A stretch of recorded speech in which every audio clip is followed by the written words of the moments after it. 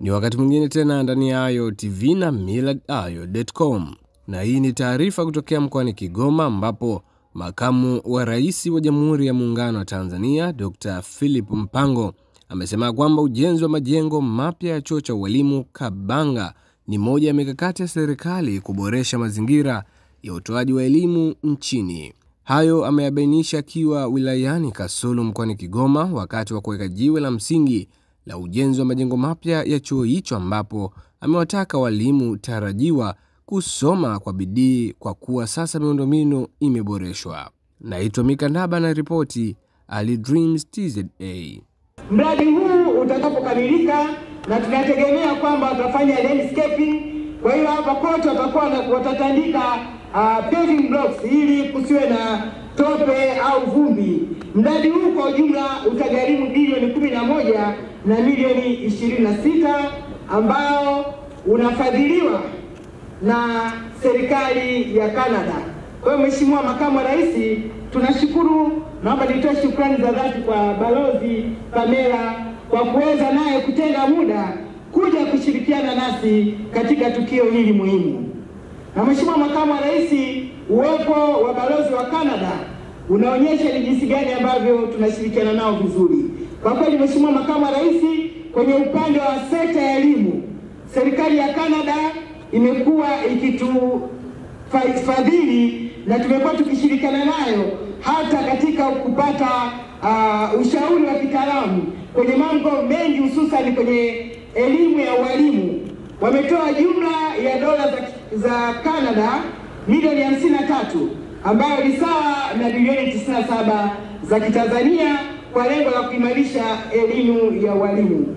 Mheshimiwa Makamu wa Rais, kwa kutambua ushirikiano huo mzuri ambao umewezesha kujenga chuo hiki cha Kabanga, umewezesha kujenga chuo cha walimu cha Mudutunguru na unawezesha kujenga chuo cha walimu cha Muhonda, umewezesha kuweka vifaa vya tehama katika vyuo vyote vya walimu hapa nchini, umewezesha kutoa mafunzo kazini kwa walimu wa tehama na walimu wa masomo ya sayansi, umewezesha kununua vitabu pamoja na kuboresha mitaala.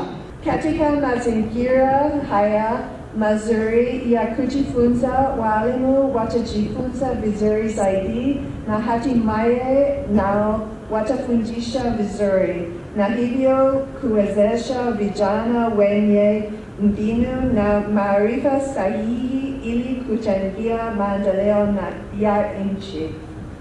Kama ambavyo mtakuwa mnafahamu, mradi huu unachangia juhudi za mradi mingine ambao inafadhiliwa na Canada katika sekta ya elimu nchini. Naamini wanachuo hawa walimu watarajiwa kwa kweli watafurahia sana sana matumizi ya chuo hiki ukilinganisha na pale kilipo hivi sasa.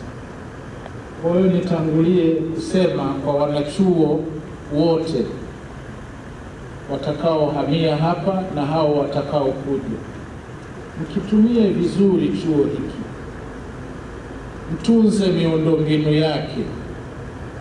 Sitarajii kwamba nitarudi hapa nikute watu wamechora chora kwenye kuta na kadhalika. Kwa hiyo hakikisheni majengo haya pamoja na ahadi mliosikia kwa Mheshimiwa Balozi ya kuendelea kutupatia fedha kwa ajili ya kuhakikisha jengo linaendelea kubaki katika hali nzuri, basi na sisi kwa upande wetu watumiaji wa chuo hiki tukitumie vizuri. Hakikisheni tahadhari za moto ziangalie, sije tukaharibikiwa. Mradi wa ujenzi wa chuo cha ualimu Kabanga ni moja ya mikakati ya serikali ya awamu ya tano na sasa ya sita kuboresha mazingira ya utoaji wa elimu ya ualimu hapa nchini, na ujenzi unafanywa na mkandarasi wa SUMA JKT kanda ya Magharibi chini ya usimamizi wa mshauri elekezi kama nilivyoambiwa pale, ambao ni Biko kutoka chuo kikuu cha Dar es Salaam.